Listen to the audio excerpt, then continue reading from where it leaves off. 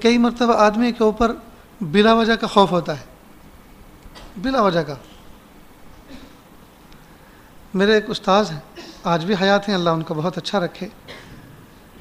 भरी जवानी थी उनकी, अभी निकाह भी नहीं हुआ था, और वह हमें तहरीर सिखाया करते थे, और बहुत मरंजा मरंज रहते थे, साफ़ सुथरे सोने से जीले।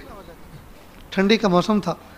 उन्हें सुबह सुबह वो दरसगाह में तशरीफ़ लाए, शायद पहली या दूसरी घंटी थी उनके पास, पहला, दूसरा पीरियड था हमारा उनके पास।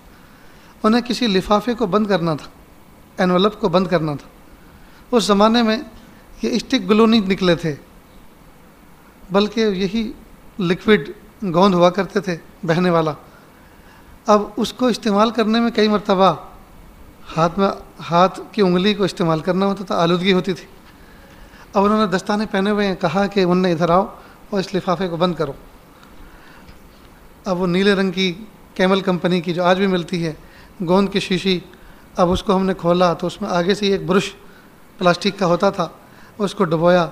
अब वो ये कि कहीं काम बिगड़ ना जाए, लिफाफा इतना खूबसूरत है, उनकी तिपाई इतनी खूबसूरत है, वो ख़ुद इतने साफ़ सुथरे हैं, कहीं कुछ जो है काम लंबा चौड़ा ना हो जाए।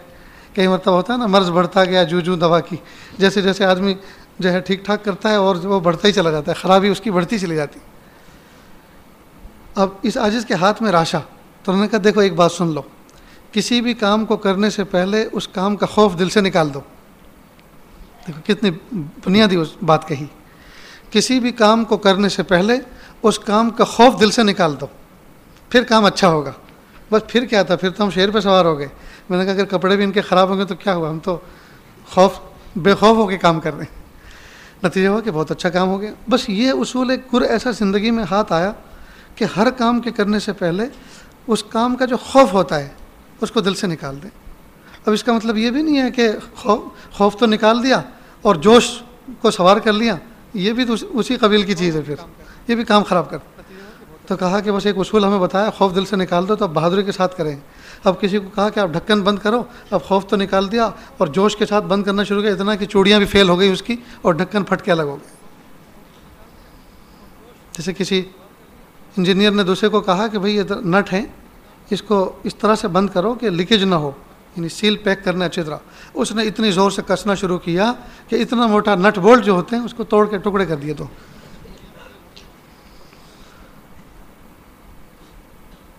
बाज़ लोग एक मुल्क में रहते हैं।